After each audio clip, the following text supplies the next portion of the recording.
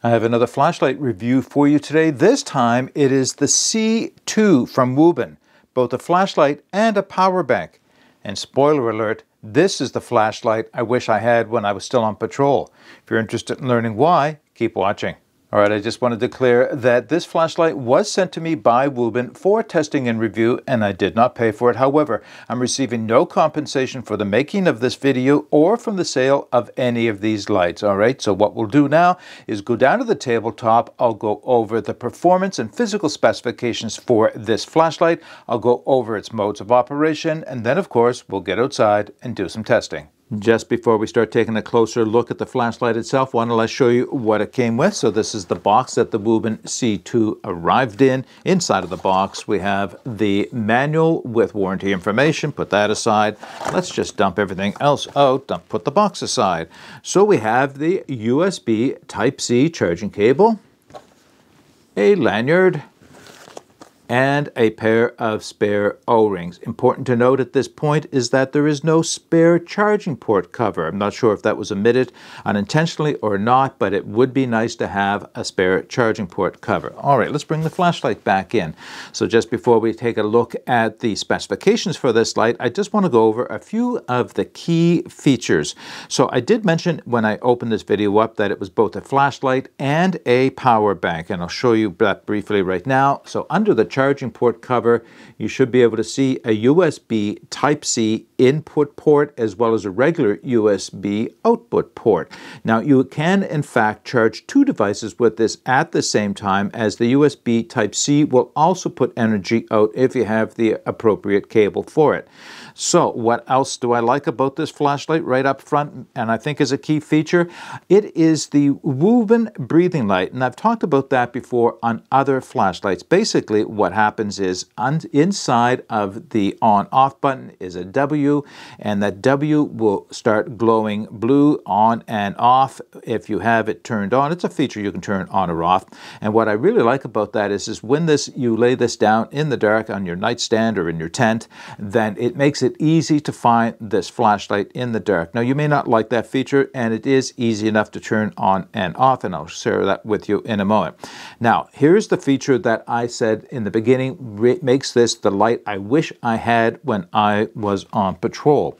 Basically, this is like a small searchlight. This has a beam cast of 358 meters, and when you get it, we get it outside, you'll see just how clear and tight that beam is. Yet it still has sufficient spill that allows it to have good area light around the center portion. Okay, now let's get into the specifications for this light. So beginning with the physical specifications, this light has an overall weight with the battery installed of 6.7 ounces or 190 grams. The overall length is 5.06 inches or 128.6 millimeters and a diameter of 1.14 inches or 29 millimeters.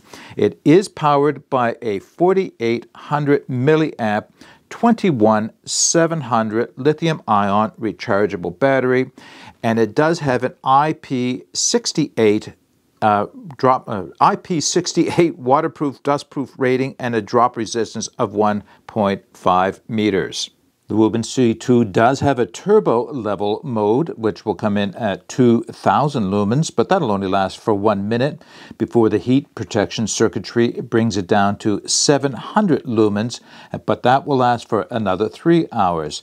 The high level comes in at 1200 lumens for three minutes, then steps down to 600 lumens for three and a half hours. Medium is 400 lumens, and that will last for five hours. Low is 130 lumens, and that will last for 15 hours. And the Eco mode is 5 lumens, and that will last for 300 hours. The C2 does have a strobe that comes in at 1200 lumens and an SOS, which comes in at 200 lumens.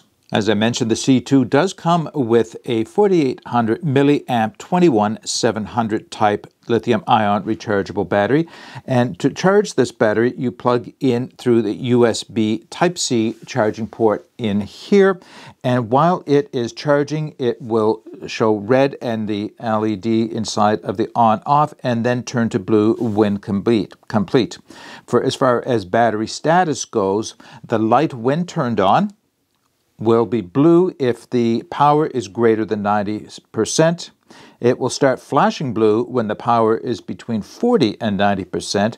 It'll turn to solid red when the power is between 15 and 40%. And if it's flashing red, you're under 15% power, time to recharge. The C2 is operated by a single power button on the side of the flashlight. Holding the button down for one full second will turn the eco mode on, turn the flashlight off, turn it back on again, and now you can operate, go up through the cycles by holding the button down to low, medium, and high. If I turn, double tap the flashlight it will turn on the turbo mode of 2000. If I double tap while it's in turbo, it'll go into strobe mode, and if I double tap again, it will go into the SOS mode. Turning the flashlight off uh, and on again, it has a memory for the last lumen setting used. With many flashlights, if you double tap the on off button while the flashlight is off, you go directly to turbo. However, however, with the C2, if you double tap while it's off, it goes directly into strobe. You can double tap again and it will go back into SOS, double tap again, back to strobe, off again. Memory will take it back to the last level that you used. Final two features I want to share with you for the Wuben C2. First is the breathing light. To activate the breathing light, you triple tap the on off switch, one, two, three, and that will start the light glowing blue, turning off glowing blue. This is a great feature for locating the light in the dark. I quite like that feature, but if you don't like it, just turn it off again, but another triple tap, one, two, three and that turns that light off. The other feature is the flashlight has an electronic lockout. So in order to activate the lockout, press down on the on-off switch quickly four times. One, two, three, four. The light will flash, and that tells you that it is locked out. So it doesn't matter how many, how often you press the button, it's not going to turn the light on accidentally. To disable the lock, do the same thing again. Press down four times. One, two, three, four and now uh, the light is active again. Having gone over all of the specifications and features of the Wuben C2, there's only one thing left to do, that's to get outside and do some testing. Doing some nighttime testing of the Wuben C2. I do have some backlight to give me a little bit of ambient light here on the snow. You can probably see that. I don't think you're going to see the eco or the low, but let's see. Well, all right, eco. It is showing up for me. I don't know if it's showing up for you. Low, not bad. Medium, better yet, and high. Turbo, a little bit brighter, not a lot, but some. Strobe, SOS. Back to high again. All right, that's the Wuben C2. All right, let's close this video out with a few comments on the Wuben C2 flashlight. So when I opened this video up, I mentioned that this is the flashlight I wished I'd had when I was on patrol in the police department. It, and that's primarily because of the beamcast, 358 meters, tight white light, but still having enough spill and flood to be a good balance. This is a great flashlight for police work or any other emergency services work, but it's still also a good flashlight for camping and even EDC. It does have a deep carry pocket clip, so it does ride nicely in my pocket. Some people may find it a bit heavy, and yeah, maybe for everyday carry, but you know, I have carried this quite a bit recently, and uh, it's not that bad, honestly. So what else do I like about the light? I like the fact that it is a power bank as well as a flashlight. Honestly, I probably won't use that feature all too often, but it's good to have it if you really need it, such as a point when your cell phone is about to die and you have to make that call. I really like the Wuben breathing light. I think I've mentioned that a few times. This is really a convenient thing to have in your tent or at home when you it, it's dark, uh, maybe the power's gone out at home and you want to be able to find your flashlight. Seeing that breathing light allows you to find it just that much more easily. However, as I mentioned, if you don't like it, then it's easy enough to turn off again.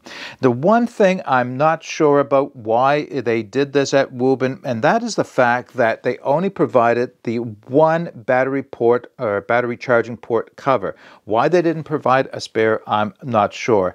Uh, it may have been a mistake, and maybe if you've gotten one of these from Wuben, let me know if you actually got a spare battery port cover. I'd be interested. In fact, if you have any comments or any uh, suggestions or any experience with the Wuben C2, please put those in the comments section below. And as I mentioned before, I'll be putting all the information for this light as well as where you can purchase it in the video description. Okay, that's all I have for you today. Get out and explore and take that path less traveled because it will make all the difference. Bye for now.